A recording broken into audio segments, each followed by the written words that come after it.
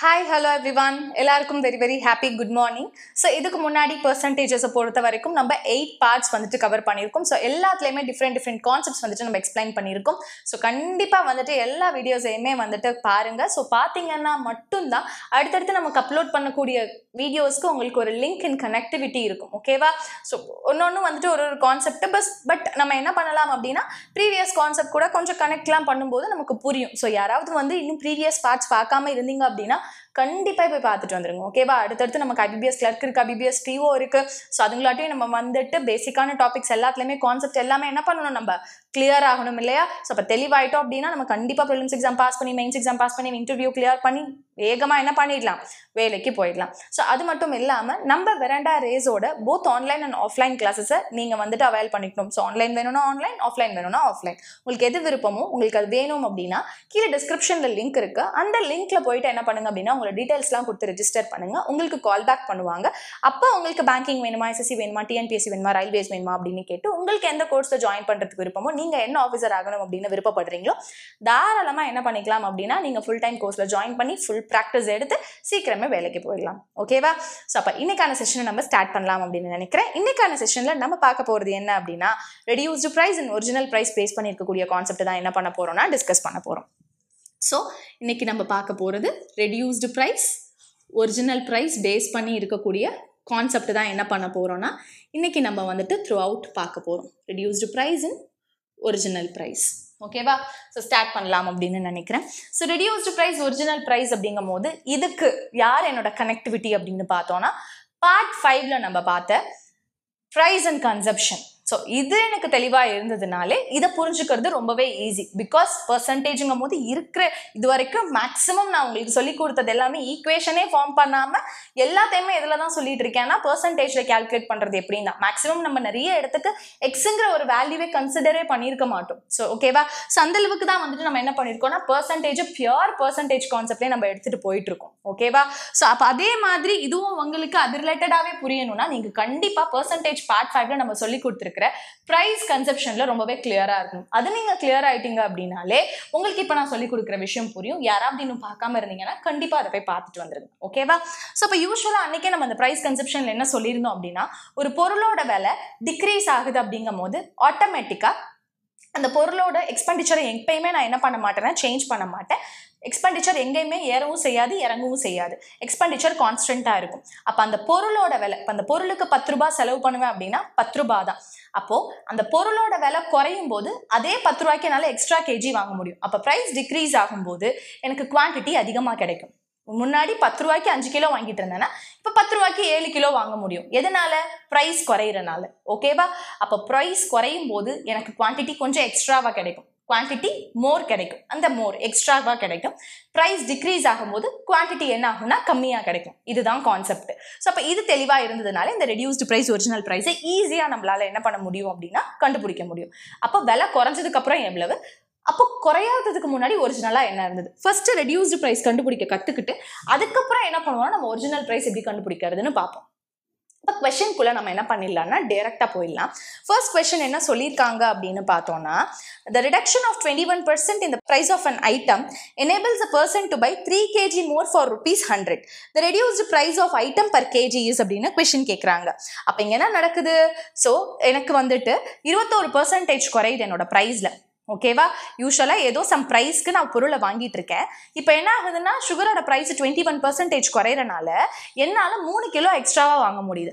அப்போ நான் இது வரைக்கும் யூஸ்வலாக அந்த பர்டிகுலர் ஐட்டமுக்கு ஸ்பெண்ட் பண்ணிட்டு இருக்க அமௌண்ட் என்னன்னா ஹண்ட்ரட் ருபீஸ் அந்த பர்டிகுலர் ஐட்டமுக்கு நான் ஹண்ட்ரட் ருபீஸ் எப்பயுமே அந்த ஹண்ட்ரட் ருபீஸுங்கிறதுல என்ன இருக்காது? எனக்கு சேஞ்சஸே இருக்காது.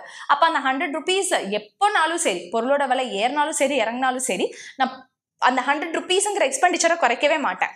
ஓகேவா இப்போ அந்த ஹண்ட்ரட் ருபீஸ்க்குள்ள எக்ஸ்ட்ரா குவான்டிட்டி எப்போ கிடைக்கும்? பொருளோட விலை குறையும் போது இப்போ அந்த ஹண்ட்ரட் ருபீஸ்ல லெஸ் குவான்டிட்டி எப்போ கிடைக்கும்? பொருளோட விலை ஏறும்போது.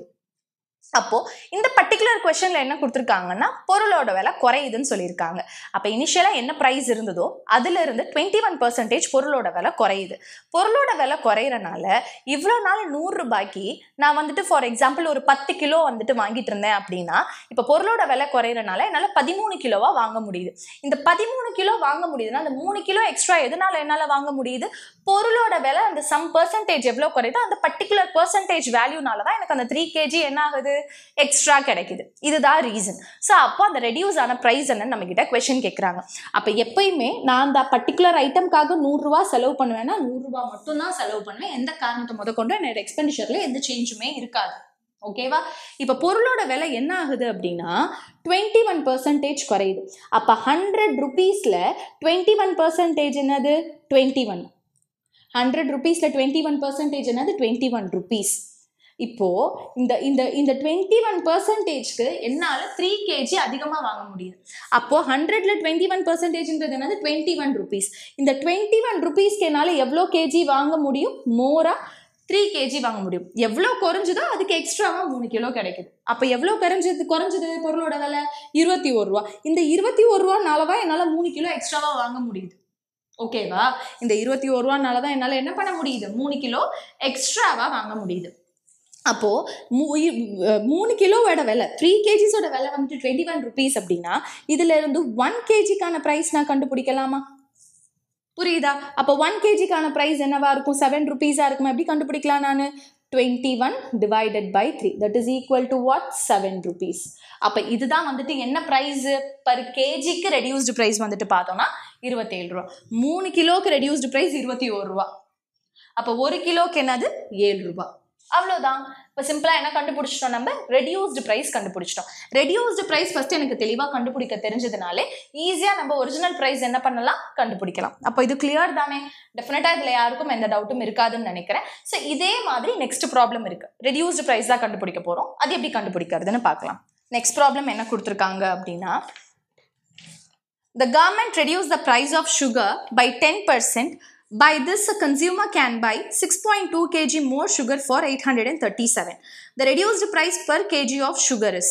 So அப்போ கவர்மெண்ட் வந்துட்டு என்ன பண்ணுறாங்களாம் சுகரோட விலையை பத்து பர்சன்டேஜ் குறைக்கிறாங்களாம் இதனால என்னால் சிக்ஸ் பாயிண்ட் டூ கேஜி அதிகமாக கன்சியூம் பண்ண முடியுது. அப்போது by by this consumer can buy six point two kg more sugar பொருளோட விலை பத்து பர்சன்டேஜ் குறையிறனால என் அந்த குறையிற விலைனால எனக்கு எக்ஸ்ட்ராவாக சிக்ஸ் பாயிண்ட் டூ கேஜி கிடைக்குது. இதுதான் இதுதான் வந்துட்டு அங்கே லாஜிக் குறையிற விலைனால எனக்கு சிக்ஸ் பாயிண்ட் டூ கேஜி அதிகமாக கிடைக்குது. அப்போ எவ்வளோ விலை குறையுது? அந்த விலைக்கு தான் எனக்கு சிக்ஸ் பாயிண்ட் டூ கேஜி வந்துட்டு எக்ஸ்ட்ராவாக கிடைக்குது. அப்போ யூஸ்வலாக அந்த பர்டிகுலர் சுகருக்காக நான் யூஸ் பண்ணுற செலவு பண்ணுற விலை என்னது? Eight hundred and thirty seven தான். பொருளோட விலை ஏறினாலும் சரி இறங்கினாலும் சரி நான் என்ன பண்ண மாட்டேன்? எந்த எக்ஸ்பெண்டிச்சரில் சேஞ்சஸே கிடையாது. ஆனால் அப்படியே தான் இருக்குது இப்போ பொருளோட விலை குறையுது. பொருளோட விலை பத்து பர்சன்டேஜ் குறையிறனால அந்த பத்து பர்சன்டேஜுங்கிறது என்னவா இருக்கோ அந்த ருபீஸ்க்கு தான் என்னால் சிக்ஸ் பாயிண்ட் டூ கேஜின்னு எக்ஸ்ட்ரா சுகர் வாங்க முடியுது. அப்போ எயிட் ஹண்ட்ரட் அண்ட் தேர்ட்டி செவனில் டென் பர்சன்டேஜ் என்னது?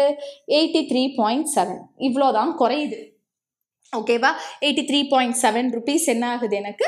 டிக்ரீஸ் ஆகுது. இந்த eighty three point seven rupees decrease ஆகுறனால தான் இந்த காசை அப்படியே விட்டு வைக்காமல் இதுக்கு வந்துட்டு சிக்ஸ் பாயிண்ட் டூ கேஜி நான் என்ன பண்ணுறேன் எனக்கு எக்ஸ்ட்ராவாக சுகர் கிடைக்குது. பொருளோட விலை குறைஞ்சனால தான் எனக்கு என்ன கிடைக்குது? சிக்ஸ் பாயிண்ட் டூ கேஜி எக்ஸ்ட்ராவாக கிடைக்குது.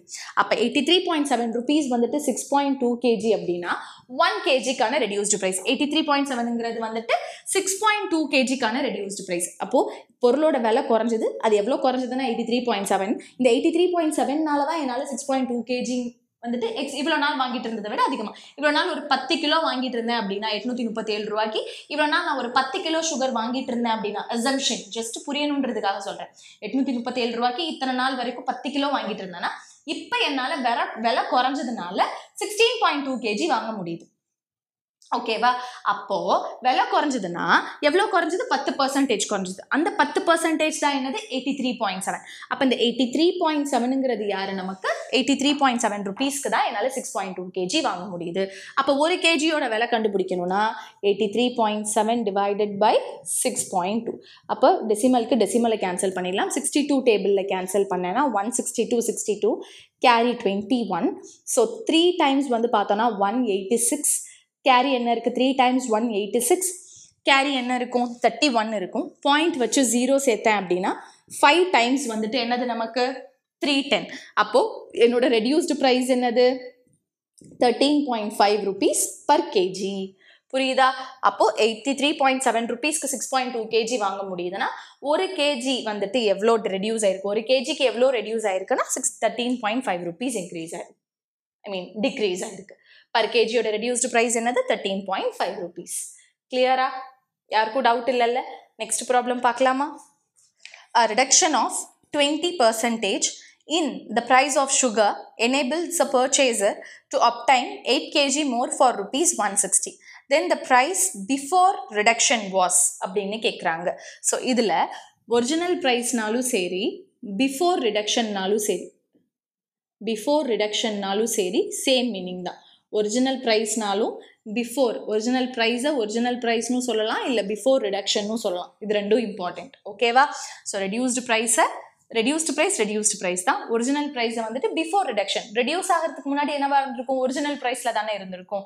அதுதான் இது. அப்போ ஒரிஜினல் ப்ரைஸ்னாலும் ப்ரைஸ் பிஃபோர் ரிடக்ஷன்னாலும் சேம் தான். ஓகேவா இதில் எந்த குழப்பமும் வேணாம். எப்போ பிஃபோர் ரிடக்ஷன் பார்க்குறீங்களோ அந்த இடத்துல நான் என்ன கண்டுபிடிக்கணும்னு அர்த்தம்? ஒரிஜினல் ப்ரைஸ் கண்டுபிடிக்கணும்னு அர்த்தம். ஒரிஜினல் ப்ரைஸ் கண்டுபிடிக்கணும்னா இனிஷியலாக எனக்கு ரெடியூஸ்டு ப்ரைஸ் கண்டுபிடிக்க தெரியணும் ரெடியூஸ்டு ப்ரைஸில் இருந்தால் நம்மளால் என்ன கண்டுபிடிக்க முடியும்னா ஒரிஜினல் ப்ரைஸ் கண்டுபிடிக்க முடியும். அப்போ கிவன் கொஷின் பார்க்கலாம். A reduction of twenty percentage in the price of a sugar enables a purchaser to obtain eight kg more for rupees one sixty then the price per kg before reduction பொருளோட விலை இருபது percentage குறையிறனால என்னால் நூற்றி அறுபது ரூபாய்க்கு எக்ஸ்ட்ராவாக எட்டு கிலோ என்ன பண்ண முடியுதுன்னா வாங்க முடியுது. அந்த எட்டு கிலோ எக்ஸ்ட்ரா எதனால வாங்க முடியுது? பொருளோட விலை இருபது பர்சன்டேஜ் குறைஞ்சனால. அப்போ இப்போதான் சொன்னேன். என்ன சொன்னேன்? ஒரிஜினல் ப்ரைஸ் கண்டுபிடிக்கணும்னா ரெடியூஸ்டு ப்ரைஸ் ஃபஸ்ட்டு கண்டுபிடிக்கணும். அதுல இருந்து தான் ஒரிஜினல் ப்ரைஸ் கண்டுபிடிக்க முடியும்னு. அப்போது நூற்றி அறுபது ரூபா தான் வந்துட்டு யூஸ்வலாக நூற்றி அறுபது ரூபா தான் நான் சுகருக்காக செலவு பண்ணிட்டு இருக்கேன் ஓகேவா யூஸ்வலாக சுகருக்காக நான் செலவு பண்ணிட்டு இருக்கிறது என்னது? நூற்றி அறுபது ரூபா. இப்போது இதிலிருந்து ப்ரைஸோட ரிடக்ஷன் வந்துட்டு பார்த்தோம்னா டுவெண்ட்டி பர்சன்டேஜ் அப்போ நூற்றி அறுபது ரூபாயில் இருபது பர்சன்டேஜ் என்ன ஆகுது குறையுது. அப்போ நூற்றி அறுபது ரூபாயில் இருபது பர்சன்டேஜ் என்னது? முப்பத்தி ரெண்டு ரூபாய் அப்போ இந்த தேர்ட்டி டூ ருபீஸுக்கு என்னால் எவ்வளோ கேஜி வாங்க முடியுது? எயிட் கேஜி வாங்க முடியுது. இந்த எயிட் கேஜி அதிகமாக வாங்க முடியறதுக்கான ஒரே காரணம் யார்? என்னோட ப்ரைஸ் ரிடக்ஷன் இந்த டுவெண்ட்டி பர்சன்டேஜ்னால தான். அப்போ இந்த இருபது பர்சன்டேஜ் விலைங்கிறது எவ்வளவு? நூற்றி அறுபது ரூபாயில முப்பத்தி ரெண்டு ரூபா. இந்த தேர்ட்டி டூ ருபீஸ்க்கு தான் என்னால் எயிட் கேஜி என்ன பண்ண முடியுது? வாங்க முடியுது. அப்போ தேர்ட்டி டூ ருபீஸ்க்கு எயிட் கேஜி அப்படின்னா ஒரு கேஜியோட ரெடியூஸ்டு ப்ரைஸ் கண்டுபிடிக்கலாமா? அப்போ ஒரு கேஜியோட ரெடியூஸ்டு ப்ரைஸ்னால் எப்படி கண்டுபிடிப்பேன் நான்? Thirty two divided by eight that is equal to what four rupees that is equal to what four rupees அப்போ ரெடியூஸ்டு ப்ரைஸ் வந்து ஃபோர் ருபீஸ் அப்படின்னா எவ்வளோ ரெடியூஸ் ஆச்சு? டுவெண்ட்டி பர்சன்டேஜ் ரெடியூஸ் ஆச்சு. அப்போது ஒரிஜினல் ப்ரைஸ் எப்பயுமே என்னவாக இருக்கும்? ஹண்ட்ரட் பர்சன்டேஜாக இருக்கும். ஒரிஜினல் ப்ரைஸ் எப்பயுமே என்னவாக இருக்கும்? ஹண்ட்ரட் பர்சன்டேஜாக இருக்கும். இதுலேருந்து தானே ரெடியூஸ் ஆகும். எவ்வளோ ரெடியூஸ் ஆச்சு? டுவெண்ட்டி பர்சன்டேஜ் அப்போ அது எவ்வளவா இருந்திருக்கும்? எயிட்டி பர்சன்டேஜாக இருந்திருக்கும். அந்த ரெடியூஸ்டு ப்ரைஸ் இது வந்துட்டு ரெடியூஸ்டு ப்ரைஸ் இது வந்துட்டு original price reduced price eighty percentage original price hundred percentage because original ப்ரைஸ்லேருந்து தான் என்ன ஆயிருக்கும்? ரெடியூஸ் ஆயிருக்கும். ஓகேவா ஸோ அப்போது ஒரிஜினல் ப்ரைஸ் ஹண்ட்ரட் பர்சன்டேஜ்னா அதுலேருந்து டுவெண்ட்டி பர்சன்டேஜ் ரெடியூஸ் ஆனது தான் எயிட்டி பர்சன்டேஜ் இந்த எயிட்டி பர்சன்டேஜோட விலை தான் என்னது? ஃபோர் ருபீஸ் அப்போ ஒரிஜினல் ப்ரைஸ் ஹண்ட்ரட் பர்சன்டேஜ் என்ன என்ன பண்ணணும் நம்ம கண்டுபிடிக்கணும். அப்போ பர்சன்டேஜ்க்கு பர்சன்டேஜ் வந்துட்டு என்ன ஆகிடும் கேன்சல் ஆயிரும். இப்போ நான் கே கேன்சல் பண்ணுறேன் அப்படின்னா டுவெண்ட்டி டேபிளில் ஃபோர் டைம்ஸ் இது வந்துட்டு ஃபைவ் டைம்ஸ் ஃபோருக்கு ஃபோர் கேன்சல் ஆகிடும் அப்போ ஒன் இன்ட்டு எக்ஸ் என்னது எக்ஸ் ஒன் இன்ட்டு ஃபைவ் என்னது ஃபைவ் அப்போ இந்த இடத்துல என்ன வந்துடும் நமக்கு? ஃபைவ் ருபீஸ் அப்போ ஒரிஜினல் ப்ரைஸுங்கிறது யாருக்கு ஈக்குவல் ஃபைவ் ருபீஸ்க்கு ஈக்குவல் புரியுதா? ரெடியூஸ்டு ப்ரைஸ்லேருந்து நம்மளால் என்ன கண்டுபிடிக்க முடியும்? ஒரிஜினல் ப்ரைஸ் கண்டுபிடிக்க முடியும். கிளியராக இது? அப்போ ரெடியூஸ்டு ப்ரைஸ் கண்டுபிடிக்க தெரிஞ்சதுனாலே ஒரிஜினல் ப்ரைஸ் கண்டுபிடிக்கிறது பெரிய விஷயமே கிடையாது. கிளியரா யாருக்கும் டவுட் இல்லைல்ல இதில்? நெக்ஸ்ட் ப்ராப்ளம் பார்க்கலாமா? The price of sugar is reduced by twenty by 20%. Now a person can buy 500 gram more sugar for rupees 36. The original price of sugar per kilogram was அப்படின்னு என்ன பண்ணுறாங்கன்னா நம்மக்கிட்ட கொஷின் கேட்குறாங்க so கண்டுபிடிக்கலாமா? பொருளோட விலை எவ்வளோ குறையுது? டுவெண்ட்டி பர்சன்டேஜ் குறையுது. அதனால எவ்வளோ எக்ஸ்ட்ரா வாங்க முடியுது? அரை கிலோ. ஐநூறு கிராமுங்கிறது அரை கிலோ. அரை கிலோ எக்ஸ்ட்ராவாக வாங்க முடியுது. எதனால? பொருளோட விலை டுவெண்ட்டி பர்சன்டேஜ் குறையிறனால. அப்போது பொருளோட விலை எவ்வளோவா இருந்திருக்கு? நான் இது வரைக்கும் வாங்கின அந்த டோட்டல் குவான்டிட்டிக்கு தேர்ட்டி சிக்ஸ் ருபீஸாக இருந்திருக்கு. இப்போது என்ன ஆகுதுன்னா டுவெண்ட்டி பர்சன்டேஜ் குறையுது. அப்போது தேர்ட்டி சிக்ஸ் ருபீஸில் என்ன ஆகுது எனக்கு? Twenty percentage ten percentage three point சிக்ஸ்னா twenty பர்சன்டேஜ்னா இன்டூ டூ அப்போ செவன் பாயிண்ட் டூ ருபீஸா தேர்ட்டி சிக்ஸில் டுவெண்ட்டி பர்சன்டேஜுங்கிறது செவன் பாயிண்ட் டூ இந்த செவன் பாயிண்ட் டூ ருபீஸ்க்கு என்னால் என்ன வாங்க முடியுதுன்னா அரை கிலோ வாங்க முடியுது எக்ஸ்ட்ராவா அப்போ இந்த செவன் பாயிண்ட் டூ ருபீஸ்னால தான் எனக்கு அரை கிலோ எக்ஸ்ட்ராவா கிடைக்குது. இவங்க கேட்குற கொஷினு ஒரிஜினல் ப்ரைஸ் கேட்குறாங்க பட் எதுக்கு கேட்குறாங்க கிலோகிராம்க்கு கேட்குறாங்க அப்போது one kg is equal to what five hundred gram இல்லையா? Sorry sorry sorry sorry one kg is equal to what thousand gram இல்லையா? ஒன் கேஜிங்கிறது யாருக்கு ஈக்குவல் தௌசண்ட் கிராம்க்கு ஈக்குவல் பட் இந்த செவன் பாயிண்ட் டூ ருபீஸ்க்கு என்னால் அரை கிலோ வாங்க முடியும்னா ஒரு கிலோக்கு ரெடியூஸ்டு ப்ரைஸ் கண்டுபிடிக்கலாமா? புரியுதா? அப்போ செவன் பாயிண்ட் டூ ருபீஸ்க்கு ஐநூறு கிராம் கிடைக்குதுன்னா எனக்கு தௌசண்ட் கிராம் வேணும்னா அப்போ ஐநூறு கிராம் வந்துட்டு செவன் பாயிண்ட் டூ ருபீஸ்னா தௌசண்ட் கிராம் எவ்வளோ ருபீஸாக இருக்கும்? ஃபோர்டீன் பாயிண்ட் ஃபோர் ருபீஸாக இருக்குமா?